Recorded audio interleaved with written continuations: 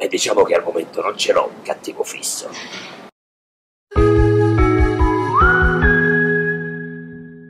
Campeggia l'anteprima di Lego Batman, il film che arriverà nelle sale italiane il 9 febbraio. Abbiamo intervistato le voci italiane del film, ovvero Claudio Santamaria che presta la voce a Batman, Alessandro Sperdusi che interpreta Robin e Geppi Cucciari che dà la voce a Batgirl. Abbiamo giocato con loro sulle loro conoscenze dell'universo DC Comics e non solo. Guardate com'è andata.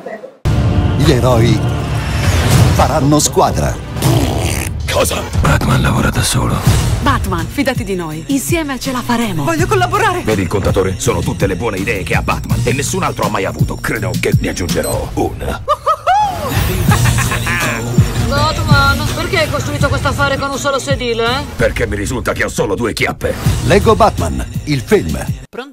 Yes. Allora, visto che avete interpretato questi bellissimi personaggi, vogliamo fare un test della vostra conoscenza sull'universo DC Comics? Come dimostro di essere pronta o di non essere pronta? Vabbè, fai delle No, domande. Chi ha interpretato il primo Batman sul grande schermo fra Ben Affleck, Val Kilmer e George Clooney?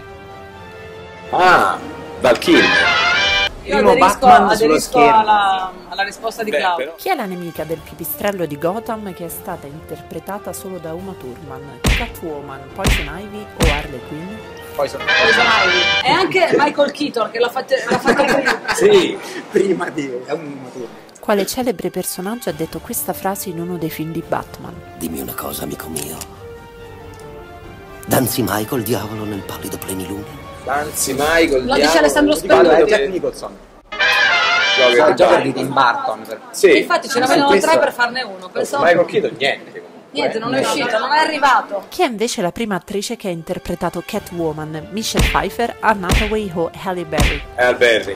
Michelle Pfeiffer. Ah, Michelle Pfeiffer, cavolo. Io sono subito in testa Alberti. Quella per altre cose. No, beh, Michelle Pfeiffer, perché? Na, na, na, na, na, Batman! Ultima domanda, quando è stato pubblicato il primo fumetto di Batman negli Stati Uniti? 1930, 1940 o 1950?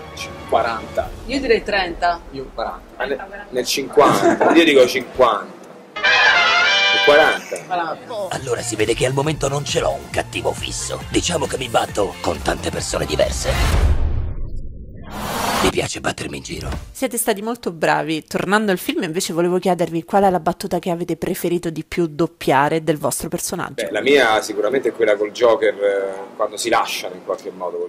Quando mette le cose in chiaro Batman. E diciamo che al momento non ce l'ho un cattivo fisso. Oh mio dio, mio dio, mio dio, mio dio, mio dio, mio dio, mio dio, mio dio. Ah! Batman! La mia penso sia quella mh, quando finalmente riesce a trovare il nome da dare a Batman e quindi lo chiama all'improvviso Papito. e, e lui dice che, che cos'è, che, che cos'è Papito? E dice papà in, in spagnolo. Mi dispiace. E lui non vuole che, che lo chiami papà in tutti i modi, ma alla fine accetta finalmente Papito e quindi sono, sono felice. Batman, perché hai costruito questo affare con un solo sedile? eh? Perché mi risulta che ho solo due chiappe. Non me la ricordo. Cioè, nel Aiuto. senso che mi ricordo il momento in cui la dice.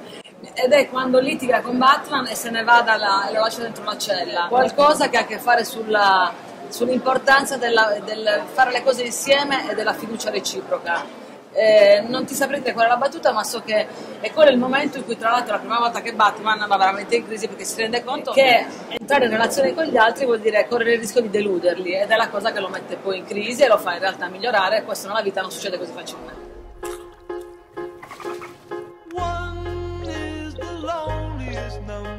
Aspetta. La- anche se lui sta sempre, a ca- sempre con la maschera, anche a casa, con la vestaglia, come dire, si toglie la maschera perché lo vediamo nella sua quotidianità che non, non- non si è mai fatta vedere negli altri, quindi sta solo che mangia l'aragosta, si fa il bagno, col delfino gli passa sopra e si guarda Jerry Maguire da solo e non trova il canale, c'è HDMI 2, 1, 2, no, qual era? Che, che si mette la- la- l'aragosta nel forno a microonde e siccome ha la mano così sbaglia il tempo, quindi mette 20 minuti, dice stupido, non 20 minuti quella cosa lì io la trovo geniale, cioè prendere un personaggio così che è mitico, che è solitario, che è misterioso eccetera e come dire togliergli la maschera, il mantello e svelarlo nella sua quotidianità è geniale. Na, na, na, Batman! Vi ringrazio. Grazie a te.